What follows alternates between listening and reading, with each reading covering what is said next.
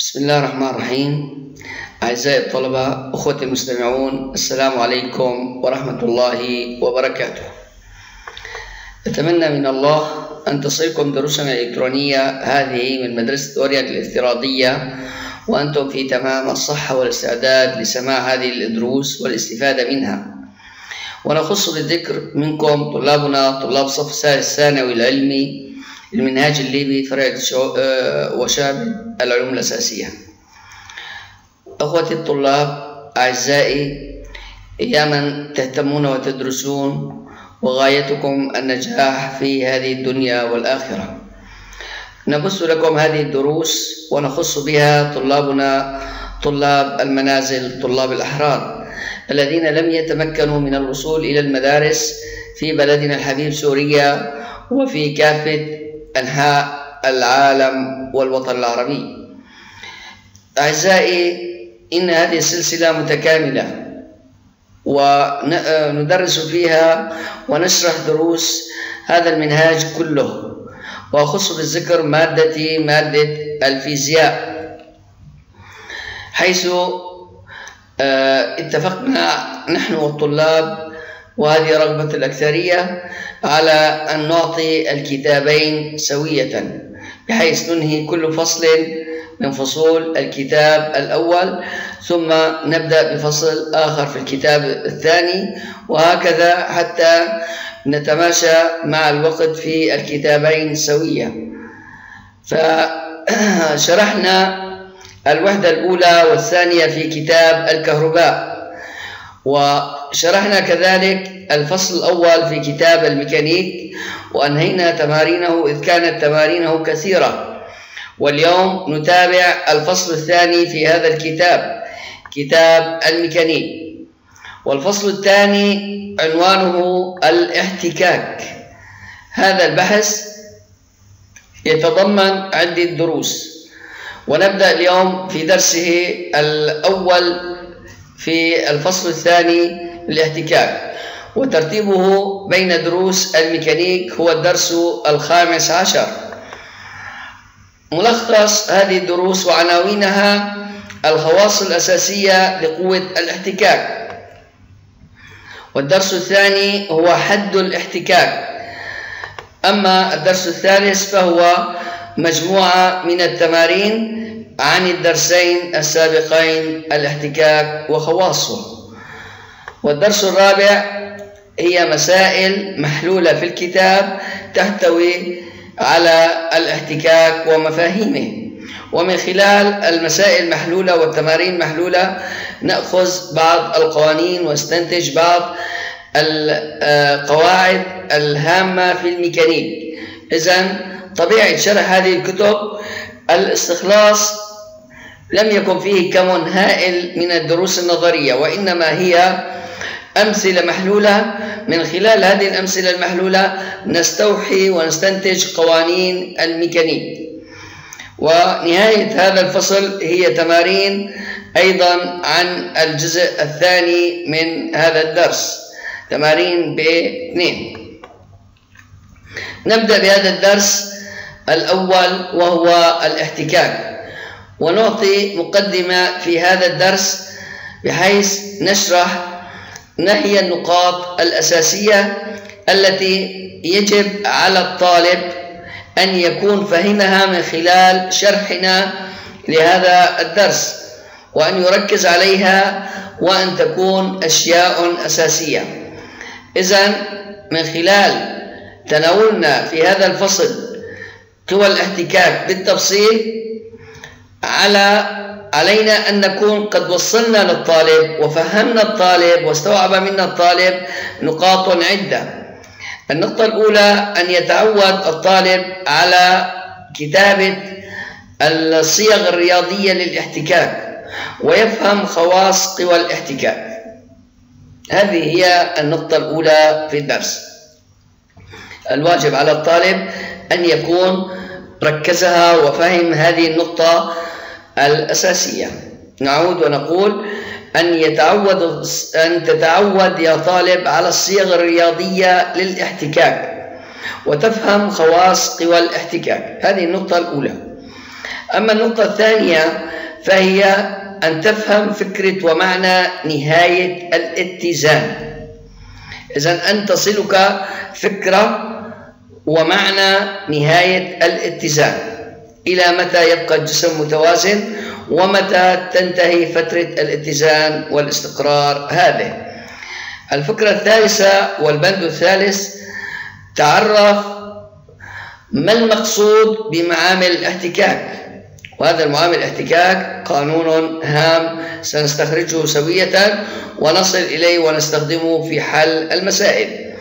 وأن يكون قادرا الطالب على استخدام معامل الاحتكاك بعد أن يكون فهم وعرف قانون هذا المعامل أو المعامل.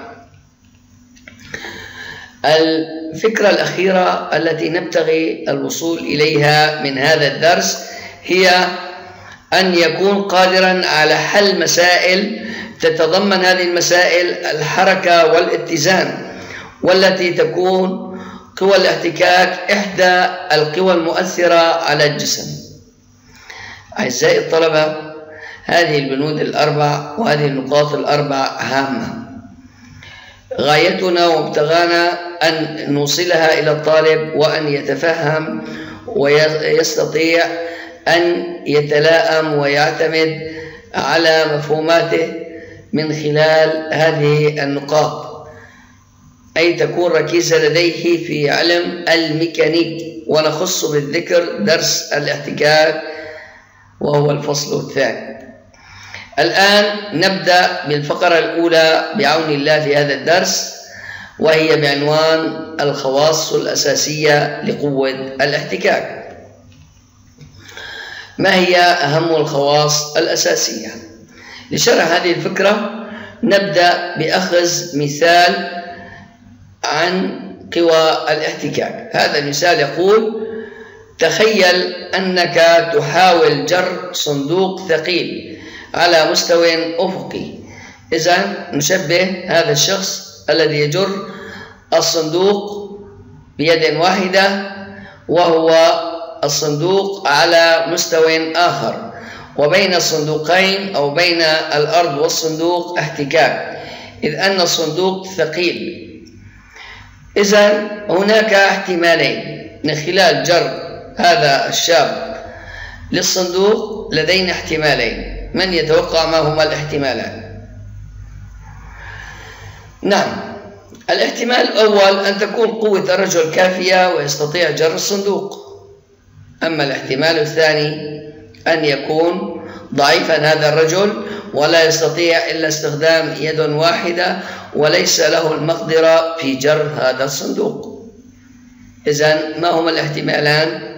من يعيد الاحتمال الأول أن تكون قوة الرجل أو الشاب كافية لجر الصندوق وتحريكه الاتجاه الذي يبتغيه ويرغب به.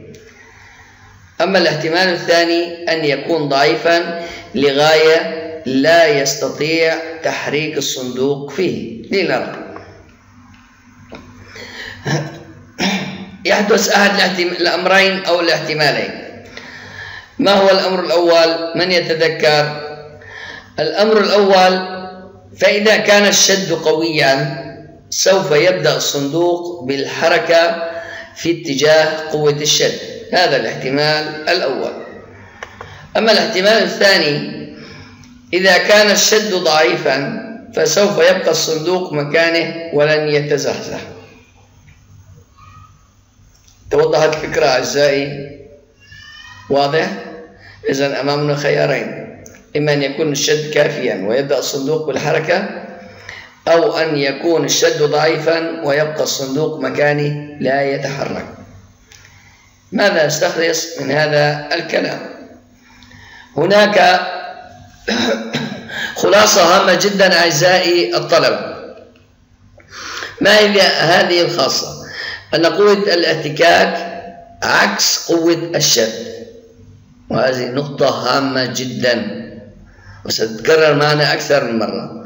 نركز عليها من الآن لأنها قد تكون سؤالا في الامتحان. قوة احتكاك أو قوة الاحتكاك دائما عكس قوة الشد.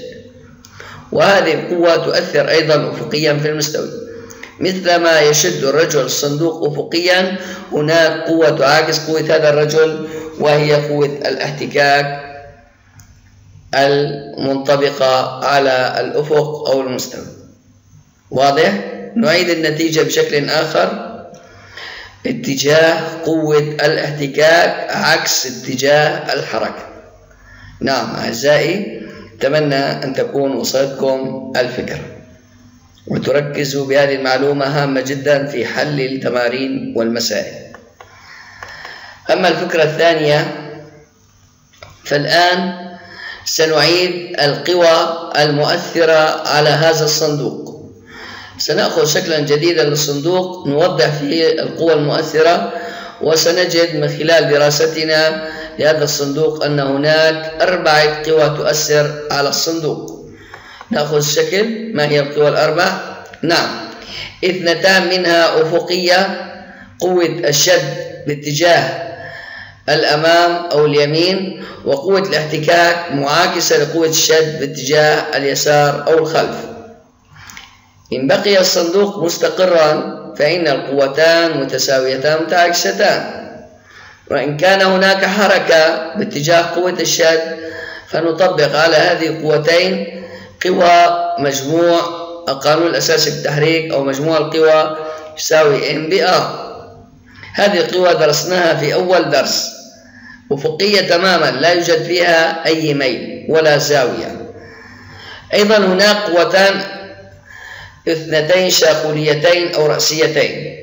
وهي قوة الاتصال العمودية R للأعلى وقوة الوزن أو الثقل للأسفل. ودائما هاتين القوتين متساويتان متعاكستان. في حال الرأس تماما بدون أي ميل وبدون زاوية. إذا قوة الاتصال العمودية في هذه الحالة تساوي الوزن وتعاكسه في الاتجاه. وصلت الفكرة؟ نعم أتمنى ذلك. الآن عند جر الصندوق بقوة كافية لتحريكه تكون قوة الاحتكاك أقل من قوة الشد. جيد. من يستطيع عكس هذه العبارة؟ أو قراءتها بشكل آخر؟ تبقى صحيحة لكن قراءتها بشكل آخر. الإجابة عندما تكون قوة الشد أكبر من قوة الاحتكاك يحدث جر الصندوق. عند جر الصندوق بقوة كافية لتحريكه تكون قوة الاحتكاك أقل من قوة الشد. نعم إذا قوة الشد عندما تكون أكبر من قوة الاحتكاك يحدث جر الصندوق. توضحت الفكرة؟ أتمنى ذلك. هنا ينشأ تعريف وهذا التعريف سنستخلصه من خلال شرح لهذه الفقرة. هي نهاية الاحتكاك. كيف نعرف نهاية الاحتكاك؟ إذا هناك تعبير يعرف من خلاله بنهاية الاحتكاك. انتبهوا إلى هذا الشرح. لنصل إلى نهاية الاحتكاك. عندما يلامس سطح لجسم ما سطحا ثابتا كالصندوقين صندوق متحرك والآخر ثابت وهناك قوة تحاول تحريك هذا الجسم. رجل يحاول شد الصندوق العلوي. على السطح ستقاوم قوة الاحتكاك. هذه الحركة بقوة معاكسة لاتجاهه. فإن كان الشد يمينا فإن قوة الاحتكاك الحركة يسار. نعم. انتبهوا هنا ينشأ التعريف. ولا تتعدى قوة الاحتكاك مقدارا معينا. إذا قيمة قوة الاحتكاك ذات مقدار معلوم محدود وليس بكبير. إن كان كبير أو ذا قيمة كبيرة غير محدودة لا تحدث حركة. لا تحدث حركة. فيجب أن تكون نهاية الاحتكاك قريبة. قليلة. قيمة الاحتكاك مقبولة. انتبهوا وكثيرا من الأحيان أعزائي الطلبة كثيرا من الأحيان في المسائل تهمل قوة الاحتكاك. إذا عندما نهمل قوة الاحتكاك معنى ذلك أنها ذات قيمة صغيرة. فانتبهوا إذا دائما قيمة قوة الاحتكاك لا مقدارا معينا لا تتعداه ذات قيمة محدودة. نعم حتى تتم الحركة. فنهاية الاحتكاك هي عبارة عن قيمة ذات مقدار معين محدود. ونصل لنهاية الاحتكاك عندما يبدأ الجسم بالحركة. ينتهي أو نتجاوز قيمة حد الاحتكاك عندما يبدأ الجسم بالحركة وكسر السكون. عملية السكون بدأ الجسم يتزحزح معنى ذلك بدأت الحركة. السؤال متى يبقى الجسم في حالة اتزان إلى متى يبقى الجسم متزن؟ متى يبقى الجسم في حالة اتزان الاتزان السكون. انتبهوا إلى هذه الإجابة. إذا كان جسم في حالة سكون واتزان مع قوة الاحتكاك التي تكون لها مقدارا أقل من نهاية قيمتها. إذا يبقى الجسم متزن طالما هناك القوة قوة الجر قوة الشد أقل من حد الاحتكاك أقل من قيمة الاحتكاك. متى بدأ الجسم بالحركة؟ معنى ذلك أن تجاوزنا قيمة قوة الاحتكاك. انتبهوا إلى هذه النتيجة. إن الجسم في نهاية الاتزان يكون على وشك الحركة. وصلت هذه النتيجة؟ إن الجسم في نهاية الاتزان على وشك الحركة. وصلت الفكرة أتمنى ذلك أعزائي الطلبة. نأخذ مثالا عدديا محلولا نناقش من خلاله بالأرقام ماذا تعني عملية أو قانون الاحتكاك وضع برميل للنفايات كتلته 20 كيلوغرام على مسار يميل بزاوية مع الأفق وكانت نهاية قوة الاحتكاك بين البرميل وسطح المستوي 50 نيوتن السؤال هل ينزلق البرميل على المستوي؟ الطلب الثاني فإذا أثرت قوة موازية للسطح المستوي على البرميل جعلته على وشك الحركة إلى أعلى المستوي أوجد مقدار هذه القوة لنرى بالرسم هذه المسألة. هناك برميل للنفايات. كتلته 20 كيلوغرام. فما هو وزنه؟ كم هو ثقله؟ نعم. الإجابة 200 نيوتن. W 200 نيوتن. يميل بزاوية مقدارها 13 درجة. فكم هي متممتها؟ متممتها هذه الزاوية. متممة الزاوية هنا 77 درجة. لماذا؟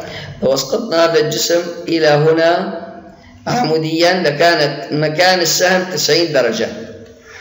و13 103 نطرحهم من 188 كان من 180 كان الجواب 77 هذه زاوية متممة نعيد قراءة المسألة. وضع هذا البرميل للنفايات. كتلته 20 كيلوغرام على مسار يميل بزاوية 13 درجة مع الأفقي. وكانت نهاية قوة الاحتكاك بين البرميل وسطح المستوي 50 نيوتن. أعظم قيمة أكبر قيمة للاحتكاك 50 نيوتن. السؤال هل ينزلق البرميل على المستوي؟ لنجد. أعزائي هذا البرميل إن كان في حالة حركة معنى ذلك أن هناك قوى قوة تجره. لكن حتى يتزن حتى يتزن فنجد كم هي قوة التي تجر هذا البرميل. انتبهوا أعزائي. إن كانت قوة جر البرميل وهي أنا ذكرت الطلاب وأذكركم. الآن البرميل إذا لا يوجد أي شيء يحركه لا توجد قوة تدفعه فإن سبب حركته ستكون مركبة الثقل على الأفق. هنا مركبة الثقل هذه. مركبة الثقل هذه هنا هذه القطعة وهي عبارة عن الوتر اللي هو W 200 نيوتن ب cosine الزاوية 77 هذه هي سبب الحركة هذه هي سبب الحركة. فإن كانت أكبر من 50 لانزلق الجسم نحو الأسفل لأنها القوة أكبر من قوة الاحتكاك. لكن إن كانت القيمة أقل من 50 فيبقى البرميل متزنا لأن لأن قوة الشد أو القوة المسببة للحركة أقل من قوة الاحتكاك. لنبدأ الحل وأتمنى أن تفهموا حل هذا المثال. إذا في البداية ما هي القوى المؤثرة على البرميل؟ هي ثلاثة قوى. قوة وزنه وهي W عبارة عن 200 نيوتن وهي تصنع زاوية قائمة مع الأفقي. وقوة رد الفعل وهي معامدة وهي معامدة لمن؟ معامدة إلى المستوي. عمودية على قوة الاحتكاك. لكن قوة الثقل بما أن عمودية على الأفقي ومائلة على مستوي الحركة فتحلل إلى مركبتين. مركبة إلى الأسفل هي سبب الحركة ومركبة أخرى رأسية وشاقولية تساوي R وتعاكسها. تحلل قوة الثقل إلى مركبتين. مركبة هي سبب الحركة ومركبة هي تساوي وتعاكس قوة الاتصال الرأسية. أتمنى أن تتضح إليكم هذه النقطة. نعم إذا هناك ثلاث قوى. قوة الثقل قوة الاتصال الرأسية قوة الاحتكاك. إذا آه، طالما الجسم متوازن طالما الجسم متوازن نحلل الوزن أو الثقل إلى مركبتين. ما هما المركبتين؟ انتبهوا إليهم. إحداهما في اتجاه المسار موازية للمسار وهي عبارة عن آه الثقل 200 ب cosine المجاور W 77 إذا W ب cosine 77 أو 200 اللي هي مركبة الثقل أو الثقل بكوساين زاوية. هذه المركبة هي سبب الحركة التي سندرسها مع قوة الاحتكاك. أما المركبة الثانية فهي عمودية على R ولكن تعاكسها في الاتجاه. أعود وأذكر تحليل الوزن إلى مركبتين. إحداهما في اتجاه المسار والأخرى عمودية عليه. تكون مركبته في اتجاه المستوي وتساوي. هي حكينا عنها هي سبب الحركة وهي عبارة عن هنا هذه القطعة سبب الحركة عبارة عن 200 ب cosine 77 بالحسبان بالآلة حاسبة نأخذ cosine 77 نضربها ب 200 سيكون الجواب 45 نيوتن.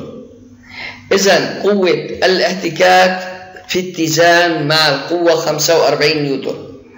القوة التي ستسبب الحركة 45 نيوتن. سؤال هل سيتم حركة البرميل أم لا؟ ولماذا؟ الإجابة لا لن يتحرك البرميل. ما سبب ذلك؟ السبب إن قوة الجر التي تسبب الحركة وهي مركبة الثقال 45 هل هي تساوي قوة الاحتكاك أم أكبر أم أصغر؟ بحيث قوة الاحتكاك 50 45 أقل من 50 إذا لن يتم أو لن تتم الحركة. ويبقى الجسم لن ينزلق إلى الأسفل. إذا الإجابة سوف لن ينزلق الجسم لأن القوة التي تسبب الحركة الناجمة من مركبة الثقل أقل من نهاية الاحتكاك. توضحت الصورة؟ أتمنى ذلك أعزائي الطلبة. لن تتم الحركة لأن القوة التي ستسبب انزلاق البرميل للأسفل أقل من قوة الاحتكاك اللي هي 50 نيوتن بحيث كانت 45 نعم. الآن سنباش نبدأ بطلب آخر. قبل أن ننتقل إلى الصفحة التالية فإذا أثرت قوة موازية لسطح المستوي على البرميل وجعلته على وشك الحركة إلى الأعلى.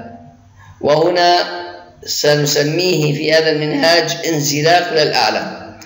نحن نعلم في منهاجنا أو في مفهومنا الانزلاق يكون نحو الأسفل. هنا بالسؤال يقول على وشك الحركة إلى الأعلى. أعلى المستوي. إذا الآن سنربط البرميل بحبل ونجره للأعلى. أعزائي من الآن أقول لكم ستصبح هناك قوتين معاكسة لعملية الجر. في البداية في هذه الرسمة رسمنا قوة الاحتكاك للأعلى لنحسب هل البرميل سيتحرك لذاته أم لا. لكن عندما نحن نحاول إجبار البرميل على الحركة ستصبح حسب المفاهيم السابقة إن قوة الاحتكاك ستعاكس الحركة وستصبح نحو الأسفل حسب المفاهيم التي شرحناها في الدرس. إن قوة الاحتكاك ستعاكس الحركة. الآن نحن نرغب بجر البرميل نحو الأعلى. فإن القوى ستعاكس الحركة سيصبح قوتين للأسفل تعاكس الحركة التي سنجر بها الأعلى البرميل وهي مركبة الثقل وقوة الاحتكاك.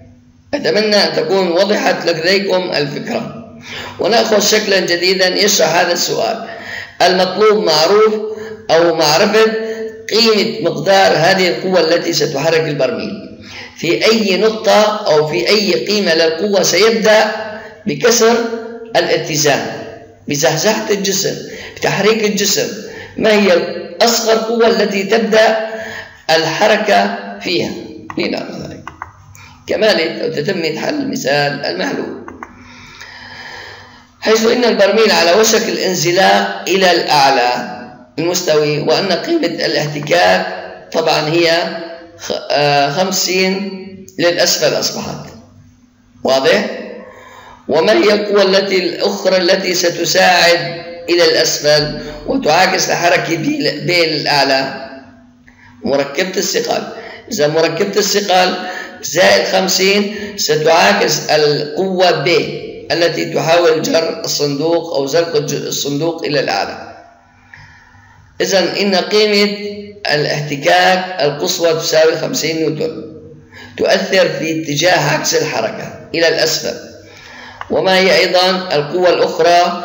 القوة الأخرى هي مركبة الثقل وهي 200 بكوساين 77 إذا لاحظوا إشارة السالب تدل على أن الاتجاه معاكس ل P. P للأعلى و 50 قوة الاحتكاك للأسفل ومركبة الثقل اللي هي عبارة عن 200 cosine 77 نقطة الاتزان أو نقطة الزحزحة لن تسبح لن تبدأ الحركة ولكن بدأ الجسم يرتج في نية الحركة. معنى ذلك لم تبدأ السرعة لم تبدأ السرعة. أخذنا السرعة صفر. معنى ذلك أن القوة B ستساوي مجموع القوتين قوة الاحتكاك ومركبة الثقل نحسب 200 بكوساين 77 كانت 45 و50 أصبح الإجابة سالب 95 نقول هذا الطرف الآخر تصبح ب 95 نيوتن كما هو واضح. إذا النقطة التي سيبدأ الجسم بالحركة فيها أكبر أكبر من 95 ممكن 95.1 ممكن 96 ممكن 100 إذا أكثر من هذا الرقم سيبدأ الجسم بالحركة. لغاية 95 الجسم متزن واضح؟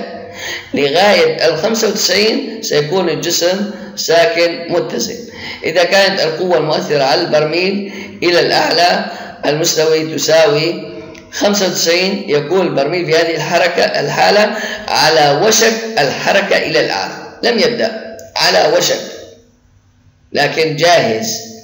أي رقم أكبر من ال 95 سيساعده على الحركة نحو الأعلى. سؤال كم تكون قيمة قوة الاحتكاك عندما يبدأ الجسم في الحركة؟ نعم من يجيب على هذا السؤال؟ كم تكون قيمة قوة الاحتكاك عندما يبدأ الجسم في الحركة. حاولوا الإجابة على هذا السؤال. نعم فكرتم. إليكم الإجابة وأتمنى أن تحفظوها لأنها قد تسألون عنها في الامتحان. عندما ينزلق جسم على سطح ثابت تكون قيمة قوة الاحتكاك مساوية للنهاية القصوى وتؤثر في اتجاه عكس الحركة. نعيد بالتأني.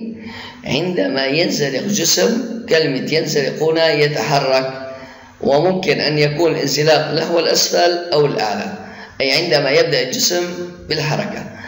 على سطح ثابت تكون قيمة قوة الاحتكاك مساوية للنهاية القصوى. بدأ الحركة بدأ الاهتزاز في نية أو وشك الحركة تكون وصلنا إلى أعلى قيمة للاحتكاك. مجرد ما تحرك الجسم تجاوزنا تعدينا قوة الاحتكاك.